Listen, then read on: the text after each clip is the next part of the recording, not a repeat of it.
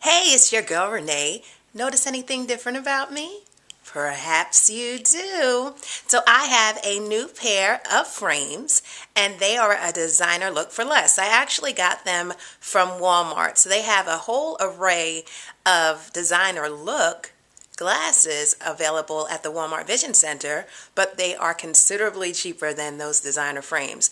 These are about $38, I believe, and I'm sorry, I don't remember the exact name of them. But this is not my first pair of glasses from Walmart. I actually had another pair and I've lost them, so these are my replacement.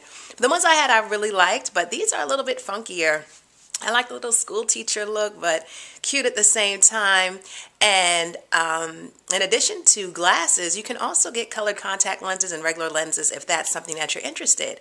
So I suggest if you are a glasses wearer or wearer of contacts that you check out the selection at Walmart because it really is good and you're probably going to be surprised. So until next time, it's your girl Renee signing off. Peace.